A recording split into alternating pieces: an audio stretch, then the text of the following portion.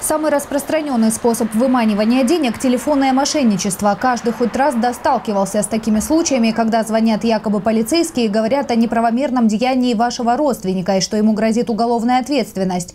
Создавая эмоциональное давление, мошенники указывают сумму и место встречи. Аферисты также связываются при помощи СМС-сообщений или звонков с неизвестных номеров, представляясь операторами мобильной связи, сотрудниками банка или иными лицами. В прошлом году значит, зарегистрировано порядка 250 таких преступлений. Это касается телефонного мошенничества.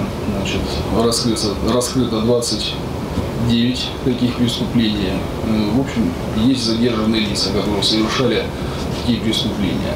В последнее время уже многие стали понимать, что это обман и не перечисляют деньги. Поэтому преступники создают новые виды мошенничества. Например, продают недвижимость и машины через интернет по низкой цене. Рекомендация в этом случае одна – звонить в полицию. Если же стали жертвой мошенничества, то необходимо, конечно, обращаться незамедлительно.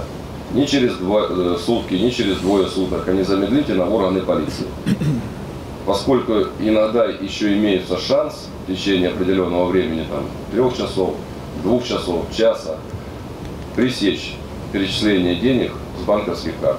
Позвонить в полицию жители любого региона могут не только по номеру 02. У всех операторов мобильной связи этот номер 020. Кроме того, есть и телефоны основных дежурных частей. В Сочи действующий номер 269 29 50. Если случилось что-то на территории железнодорожного вокзала, то оперативнее вам помогут в линейном управлении по транспорту. А вот узнать, куда увезли машину за неправильную парковку, можно по телефону дежурной части ГИБДД. Также действуют специальные номера доверия и колл-центры центре по услугам УВД. Кроме того, узнать всю необходимую информацию можно и через интернет.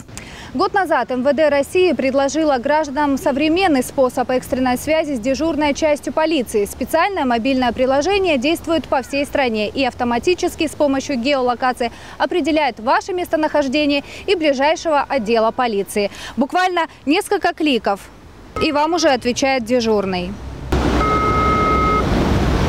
Здравствуйте, дежурная часть УВД города Сочи, полковник полиции Попов. Слушаю вас. Дежурный оператор сразу фиксирует ваш звонок и записывает всю информацию. Дальше дело специалистов. Кстати, через это бесплатное мобильное приложение можно также посмотреть на карте, где находятся опорные пункты участковых, найти своего и при необходимости позвонить полицейскому. База данных регулярно обновляется.